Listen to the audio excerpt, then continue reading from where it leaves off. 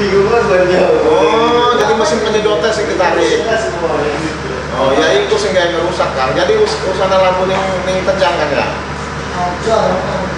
Oh, ya berarti tongkang itu udah udah di udah muat ada di Jakarta berarti itu. Berarti mesin tradingnya aja yang tinggal itu kan ya. Jadi cuman pun doang kan kapal to- tongkang kayak putih apa kan?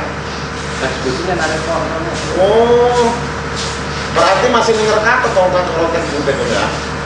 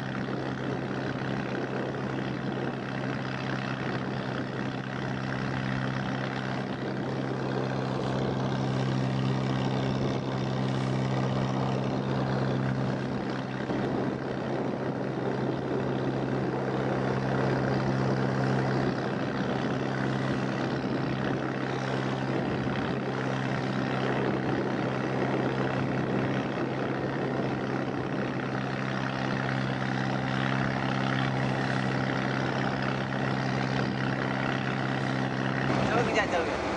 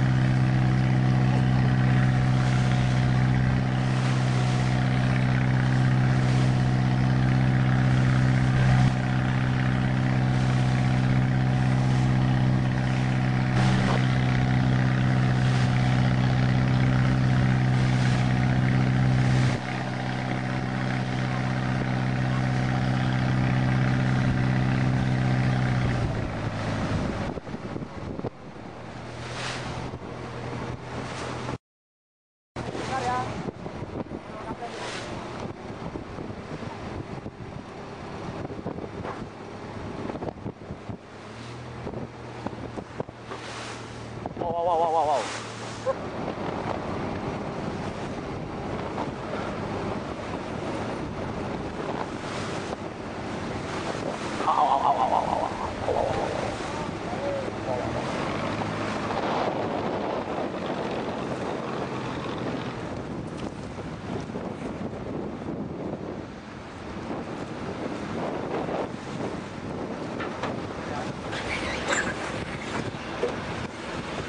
nanti nanti tenang, lagi tenang. Sip.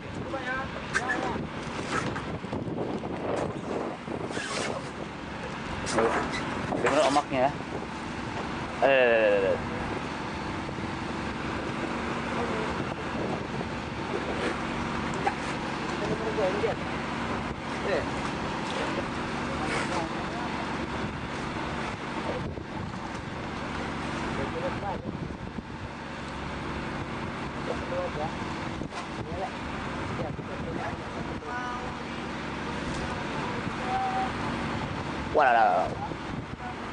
revise.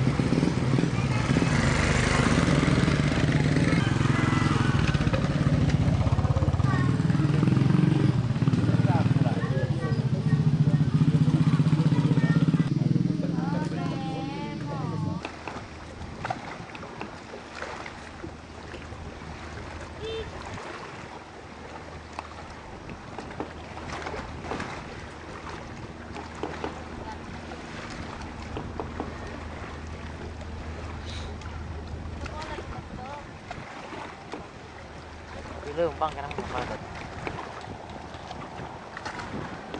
เริ่มบ้าง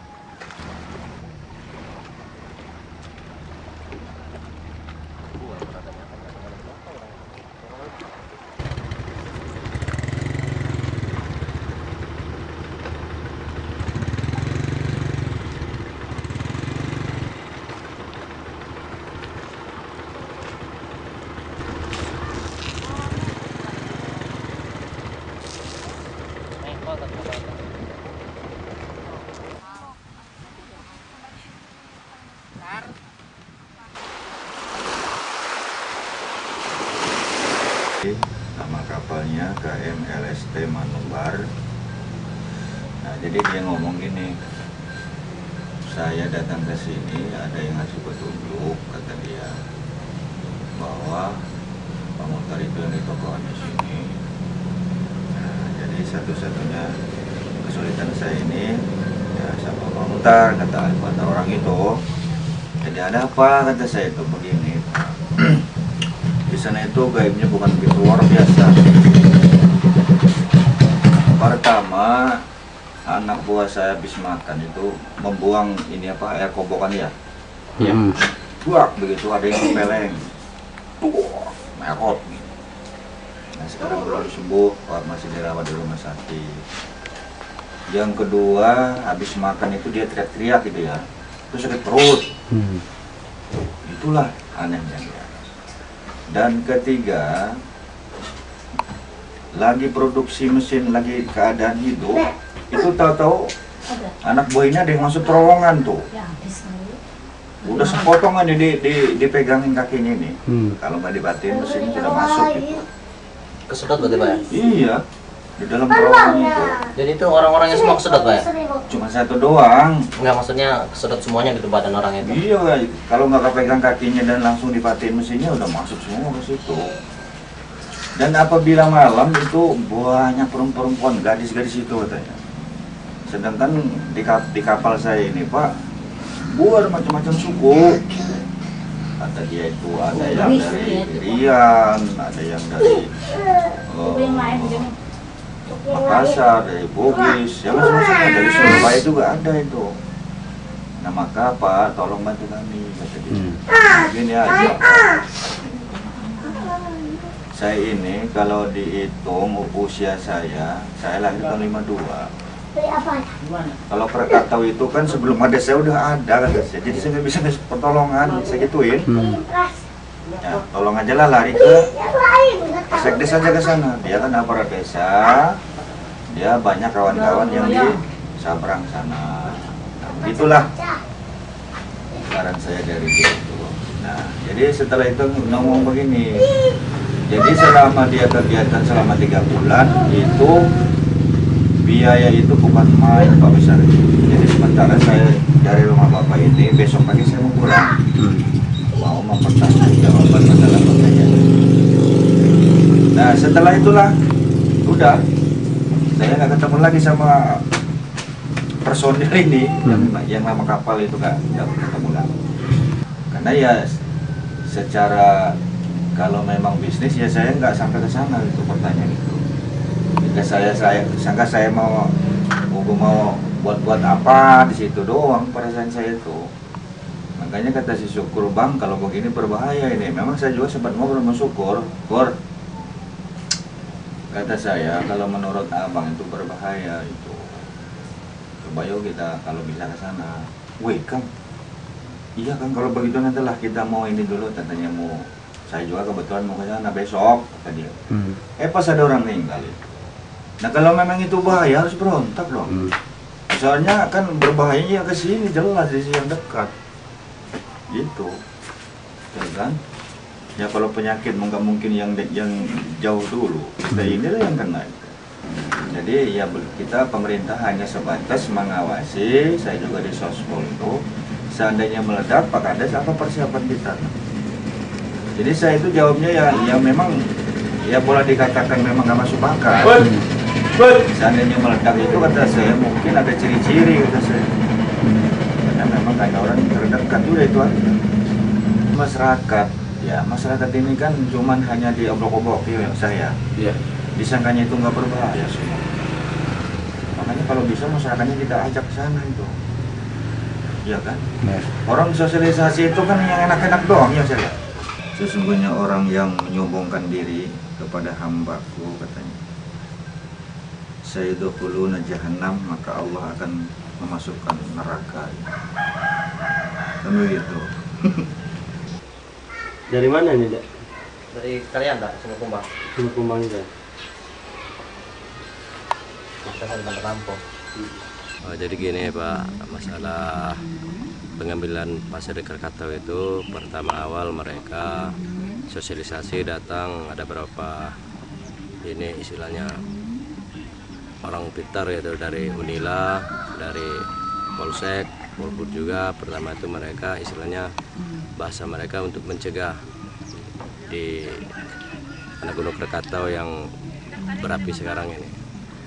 Jadi alas mereka itu untuk mencegah mengambil pasir supaya ketinggian pasir itu tidak meninggi gitu. Maka mereka bahasa mereka akan dibikin sebuah istilahnya siringan atau siringan untuk jalan air dari atas ke bawah.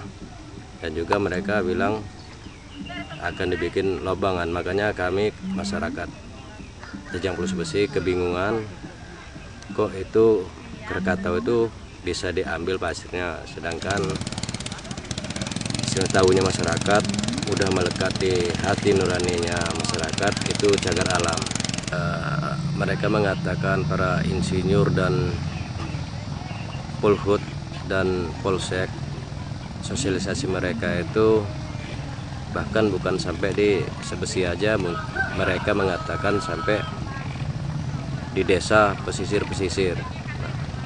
Dan setelah itu mereka belum sampai ke pesisir-pesisir sosialisasi tersebut.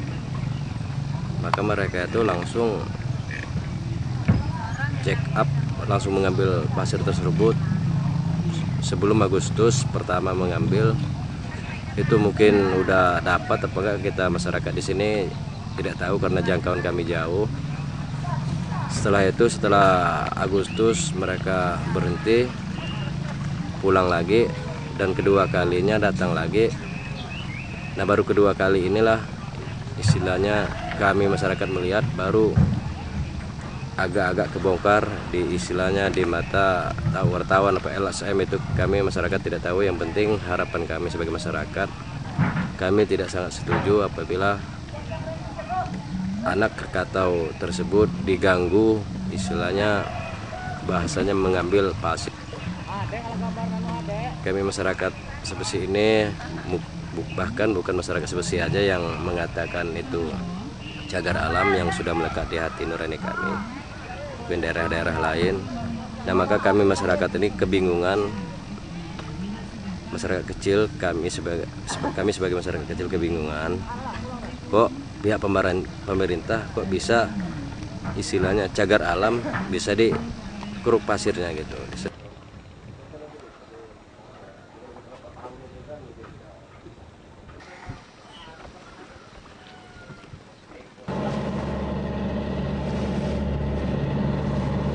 Wah, aspal bang lo.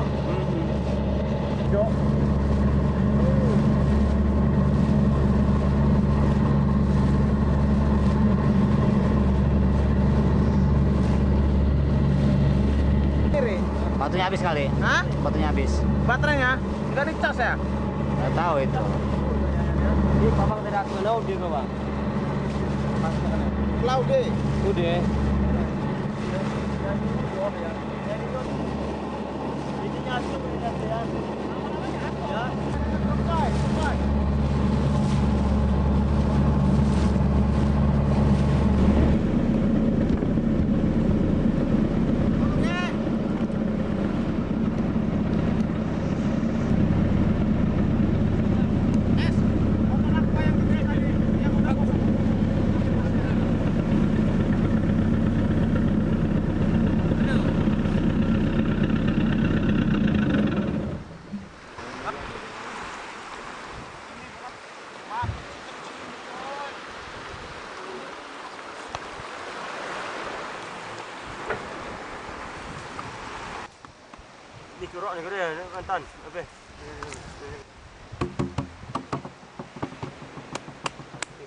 Sip.